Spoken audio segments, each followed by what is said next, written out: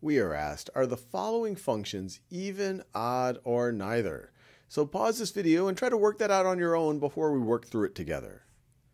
All right, now let's just remind ourselves of a definition for even and odd functions. One way to think about it is what happens when you take f of negative x. If f of negative x is equal to the function again, then we're dealing with an even function. If we evaluate f of negative x, instead of getting the function, we get the negative of the function, then we're dealing with an odd function. And if neither of these are true, it is neither. So let's go to this first one right over here. f of x is equal to 5 over 3 minus x to the fourth. And the best way I can think about tackling this is let's just evaluate what f of negative x would be equal to. That would be equal to 5 over 3 minus, and everywhere we see an x, we're going to replace that with a negative x to the fourth power. Now, what is negative x to the fourth power?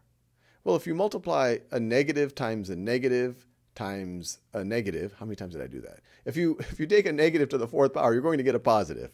So that's going to be equal to 5 over 3 minus x to the fourth, which is once again equal to f of x. And so this first one right over here, f of negative x is equal to f of x. It is clearly even. Let's do another example. So this one right over here, g of x, let's just evaluate g of negative x. And at any point you feel inspired and you didn't figure it out the first time, pause the video again and try to work it out on your own.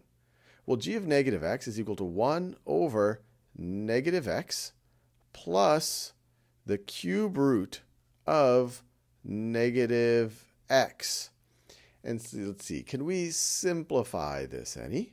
Well, we could rewrite this as the negative of 1 over x, and then I could view negative x as the same thing as negative 1 times x.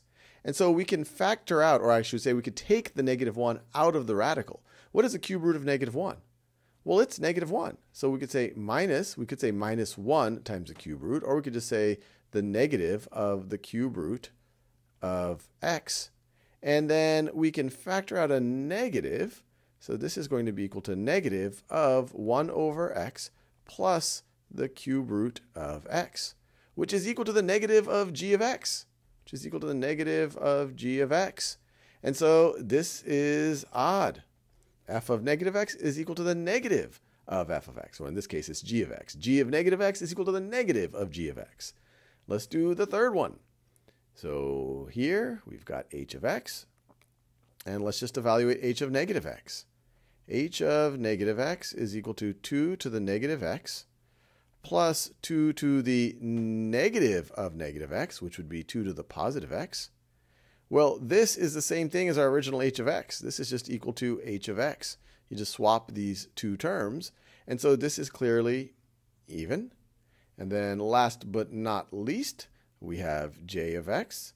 So let's evaluate j of, I write it right, y. Let's evaluate j of negative x is equal to negative x over 1 minus negative x, which is equal to negative x over 1 plus x.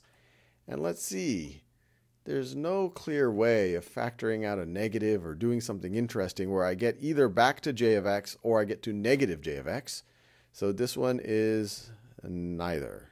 And we're done.